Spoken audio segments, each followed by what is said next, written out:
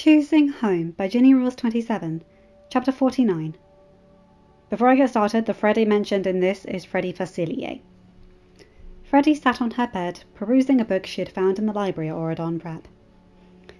It was honestly strange to think about the fact that she was here, in Auradon, rather than on the Isle. How did the others handle it? The knowledge that we're free from the barrier but will never get to see our parents again. She thought with a small sigh. It must have been easier for her sisters. They got friends to pal around with and talk about their insecurities. She was by herself. Oh, sure, she knew she had her family. Oma had been quick to introduce her and Celia to their grandmother, who made probably the best gumbo this side of the bridge. Freddie hadn't had the chance, or heart if she was honest, to go to Tiana's restaurant to see how her gumbo compared. Oh, Freddie, there you are. Freddie looked up from her book as she heard the familiar, feminine, English accented voice coming from her doorway. Her heart flipped as she saw Allie in her usual blue and white dress, leaning against the doorframe, smiling as she looked at Freddie. Her blonde hair was pushed back by her typical black headband that oddly enough seemed to work for her.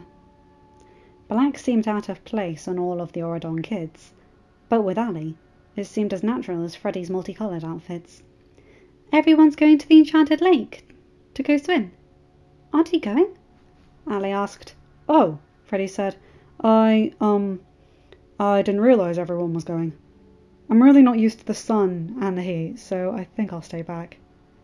What a pity. I was going to go, but I wouldn't want you to be by your lonesome, Allie said as she walked into the room, sitting down beside Freddie. If she noticed Freddie's sharp intake of breath at the decision, Allie didn't let on. I wonder if Benny Boy had just declared one AK needed to adopt a VK. Freddie thought. That Miguel boy is with Jude, Brendan's with Quinn, and Macari is with Gil, who's yet to tell us how all that happened. And apparently uh, the youngest of the Fitzherbert brood is very friendly with the ringmaster's daughter. Mulan's daughter is with Jay, Fairy Godmother's daughter's with De Vil, Dwarf boy's with Blueberry, sorry, Evie. God, it's weird to call her by her first name. And of course Benny boy's with Mal. What's it like? Allie asked, breaking Freddie out of her thoughts. What's what like? The Isle. Allie elaborated, and Freddie nodded. It wasn't out of place to field questions like that from the AKs. I mean, Mal and Uma have told me some, but I think they sanitized it a tad. Yeah, no duh. Freddie thought. You really think we want to remember the crap we lived through? Not to mention telling you will just make you feel guilty since you can't reverse time and make as though it never happened. It was weird, but the last thing Freddie wanted to do was make Allie, of all people, feel bad about how the Isle kids grew up. Maybe it was the brutal honesty the Brit was trying. Maybe it was how she seemed genuinely curious, rather than just pretending to take an interest. Or maybe it was the way her lips seemed to form a rather cute pout whenever she was upset, that still managed to find a way to drive a knife into Freddie's heart. Wait, what? Freddie thought. I mean, she is cute, and her pout manages to send shivers down my spine. Her laugh drives away any clouds that are darkening my day. She's always on my mind, one way or another. Oh god, I think I like her! Actually like her! I mean, normally on the Isle we just do a fling, but we're not on the Isle anymore, and Allie deserves more than a fling. Before she could finish her thought, Allie's lips had found their way onto hers in a tender yet passionate kiss.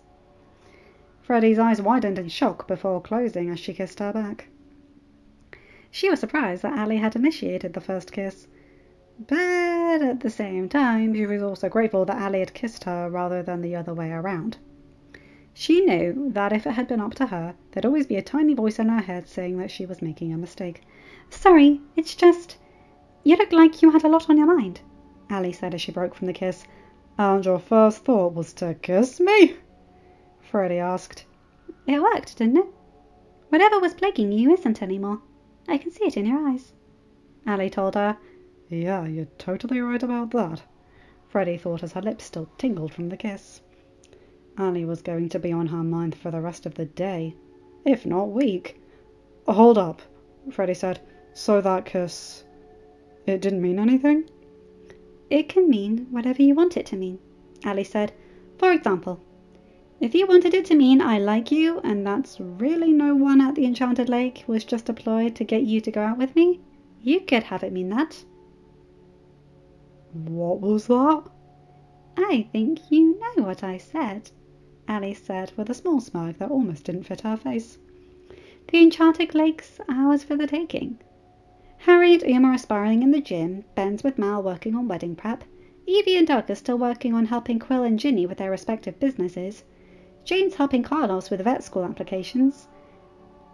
Lonnie and Jay are off at college, and Gil's with Macaria. What about Haddie? He's with CJ, Ryan, Herky, and Brooke. Oh, and Alexandria, of course. Did you arrange this? Who? Me? I would never. Allie said with a small smile that seemed innocent but didn't fool Freddie in the slightest. That being said, I think you're sweet and nice and someone I'd like to go out with. So, Enchanted Lake? Freddie chuckled as she shook her head. With a request like that, how could I say no? Oh, excellent! Ellie grinned as they both got off the bed, making their way out of the room. Meanwhile, on the other side of the kingdom, Claudine sat down next to Henry on their sofa. It had been a week since the christening, and she'd only just gotten over the shock of her gift from the good fairies. Not that she didn't like it, but she hadn't expected it at all. She was a grown adult. Christenings were for new royals. Though she was technically a new royal, now that she thought about it.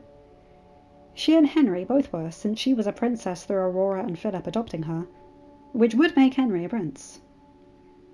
Neither one of them wanted to lay claim to the title, preferring to live in their lighthouse and help Eric and Ariel but the title was there for their kids if they would ever need it. Hey, Henry said, his gentle voice breaking Claudine out of her thoughts. Are you okay? You've been a little down all week.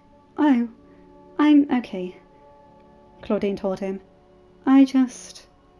I was just thinking about the gift the good fairies gave me. How they took away the issues the Isle diet gave me. What do you mean? Henry asked. Claudine sighed. Henry, if we want, having kids won't be an issue for us. The good fairies made sure of that. Oh. Oh! So you're. No, no, I don't think they could just make someone pregnant. But if we wanted to move forward physically, there wouldn't be that fear of not being able to become pregnant. Henry sighed and Claudine gently grabbed his hand, linking her fingers through his. I know moving forward physically makes you uncomfortable, and I'm happy to move at your speed, she told him. No matter what, this marriage is a partnership. I didn't want to tell you to pressure you, but to let you know that the option is there for us now. I know, Henry said, nodding. And I appreciate that, Claudine. It's just. You know how my dad didn't come to our wedding? and how, in all honesty, I'm not really talking to him. Uh huh. Claudine nodded as she gently brushed some of Henry's red hair out of his eyes. She wasn't sure where Henry was going with this, but if he wanted to tell her, she would listen. Henry let out a small sigh before continuing to speak. I was. I was a fling for food baby, so to speak. My mum had a fling with my dad, but when she went to him for help, he told he told her that there wasn't any proof that I was his. She raised me on her own. Did things no woman, or person for that matter, should have to do to make sure I ate and had a roof over my head when I was younger. All because he didn't want to own up to it. Watching her struggle, I swore to myself I would never put a girl in that position my donor put her in. Whenever the crew started talking about their flings, I'd just walk away. Not because I wanted to be a buzzkill, but because I couldn't help but think of those girls or women as my mum. When we were keeping us a secret, it it was easier not to fully commit to a physical relationship, since it was so dangerous if you got pregnant. Hey, hey, Claudine said and gently wrapped her hand around his. Henry, honey, you know I have no issue with how our relationship is, even if I didn't truly know your reasons before. Thank you for trusting me enough to tell me now. What your mother went through was horrible. And I've said this before, but I'll say it again. If more guys on the Isle had thought like you, well, the girls would have been a lot happier. I didn't tell you because I wanted you to move forward. I told you because you're my husband, and I thought you should know. Henry nodded, pulling her close to him and kissing the top of her head. There's a war in my head right now. One side is saying that if we don't move forward and have a kid now, we'll miss our window because, honestly, having a little girl run around here would be the only thing that would make it perfect. You want a girl? Claudine asked. Yeah, Henry nodded. I'd rather not risk turning out like my donor. And, I don't know, teaching my daughter how to use a sword. What else could be better? Claudine smiled as she rested her head on Henry's shoulder. I'd want a girl too. I mean, I'd be happy with either. But boys in my family don't have the best track record. Phil seems fine, Henry said. You know who I mean, Claudine said with a small sigh. Henry nodded. I know. But, Claudine, you're forgetting something. Freddy's not here to potentially mold our kids into what he thinks is best. Think about Ari and Paige. Are they anything like Freddy? No, of course not. Then our potential son wouldn't be either, he told her. And I don't know if I can ever truly shake the voice in my head that says I'm throwing away all my mom sacrificed if I move forward into a physical relationship. But I'm willing to try. You are? Claudine asked in shock. I'm not leaving you, Claudine. Henry promised. No matter what, you're my world. You were my sun before I got to be in it. And now Auradon gave us the gift of possibly increasing our family. If you want it, I'm willing to try. Claudine smiled as she heard that, and gently placed her lips on his. We've got some time before Ryan comes back from his get-together with CJ, Haddie, Herky, Brooke and Alexandria, she murmured against his lips. Well, the last thing we want to do is scar him. He chuckled as her fingers left his hand and began to run through his hair. You tell me when you get uncomfortable, and we'll stop, she promised as they got up off the sofa. We've got all the time we want. There's no need to rush. I know, and I will. Tell you, that is, Henry said as he kissed her trailing his lips down her neck with every pause in his sentence.